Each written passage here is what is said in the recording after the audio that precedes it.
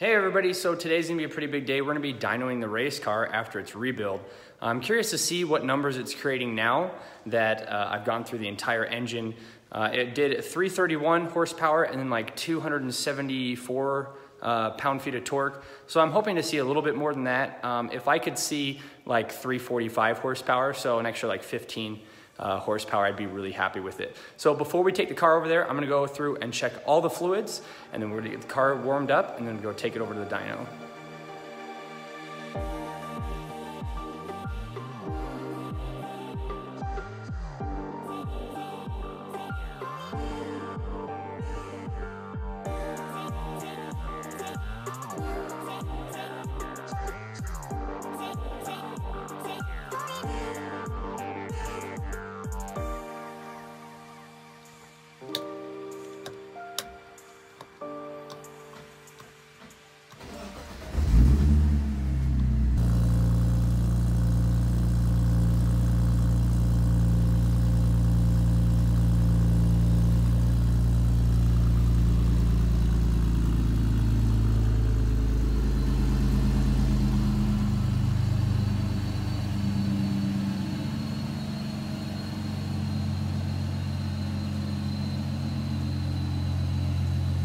So I'm gonna let the car heat up for a couple minutes. I'm gonna move the pickup. Um, the dyno's about 15 minutes away, and then we'll be uh, turning all the cameras back on.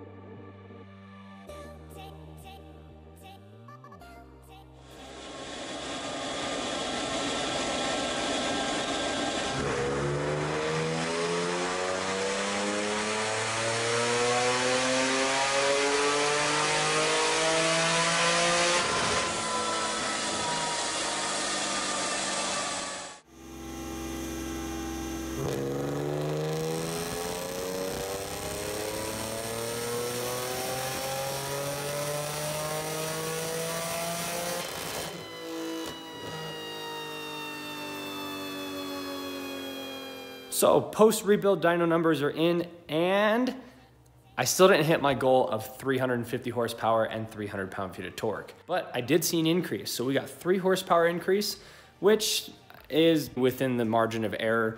That's the same number, 331 and 334.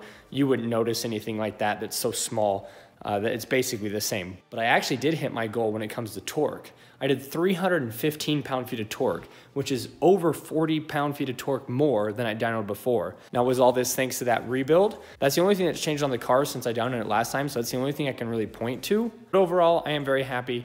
334 horsepower is like 15 horsepower less than what I wanted, and 315 is 15 over what I wanted on torque. Basically evens itself out. I essentially hit what I wanted to. Even if I got another 15 or 20 horsepower, you wouldn't have really actually felt that because it's less than 10%, but I am definitely feeling this extra pound feet of torque. So stick around because the next couple videos on this E46 are actually really awesome. I'm very excited to get these projects done and get them recorded. And I'm super excited to get them out to everybody so that you guys can see what's going on with this car in the next couple weeks. Until then, I appreciate everybody for watching. Make sure to like, comment, share, and subscribe, and we'll see you in the next video.